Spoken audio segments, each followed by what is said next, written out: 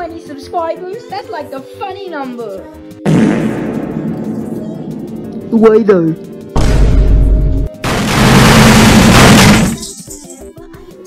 But that's not funny.